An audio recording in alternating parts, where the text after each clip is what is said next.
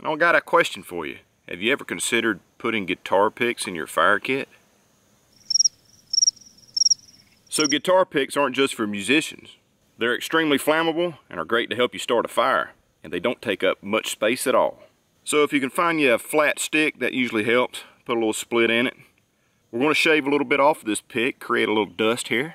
Stick it down in the split that you made just to hold it.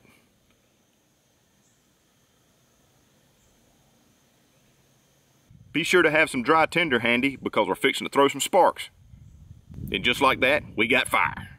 So consider putting guitar picks in your fire kit. They don't take up much space and they're very inexpensive. And you'll have a fire up in no time. If you enjoyed this video, please like and comment down below. And don't forget to share with your friends. And I'll see you next time with another 60 second survival video, y'all.